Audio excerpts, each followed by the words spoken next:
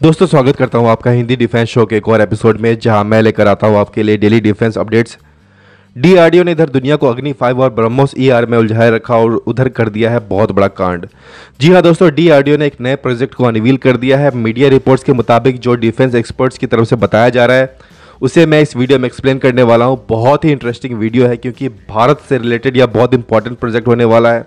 और जब से यह मीडिया रिपोर्ट बाहर आया है, चीन और पाकिस्तान की तो जैसे हालत ही ख़राब हो गई और उनके डिफेंस एक्सपर्ट्स को सोचे नहीं बन रहा कि भारत अपने प्रोजेक्ट वेदा में क्या बनाने वाला है आखिर। इसके ऊपर जैसी बातें चल रही हैं, उसके बाद भारतीय सेना और ज़्यादा ताकतवर होने वाली है। एक्चुअली में यह अभी कोई मिसाइल नहीं है। यह एक फ्यूचर प्रोजेक्ट है जिस पर डीआरडीओ ने बहुत तेज़ी से काम करना भी शुरू कर दिया है। हालाँकि डी ने इस प्रोजेक्ट के बारे में कुछ बताया नहीं है और कुछ डिफेंस एक्सपर्ट्स ने यह अनुमान लगाया है कि यह एक इंटरसेप्टर है बैलिस्टिक मिसाइल्स के लिए, जैसे कि हमारे पास A D one A D two और प्रद्युम्न मिसाइल्स हैं।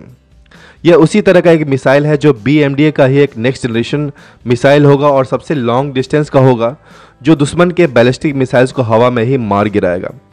फिर कुछ डिफेंस एक्सपर्ट्स का यह भी मानना है कि यह road side satellite launch vehicle है और इसका यूज़ क्या होगा? मान लीजिए कि भारत और चीन के बीच युद्ध होता है और चीन हमारे सैटेलाइट को मार गिरा देता है। ऐसे में हम इस सैटेलाइट को इमरजेंसी बेसिस पर लॉन्च कर सकते हैं भारत में कहीं से भी, क्योंकि यह कैनिस्टर बेस्ड होगा, जिसे हम कहीं भी मूव कर सकते हैं अपनी ज़रूरत के हिसाब से।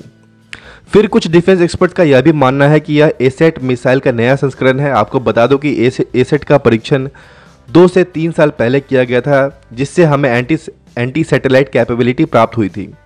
और यह दोनों ही मिसाइल देखने में भी एक जैसे ही लग रहे हैं मतलब ये लग रहा है कि यह एक एसेट का दूसरा संस्करण है जो पहले से कहीं ज़्यादा पावरफुल होने वाला है।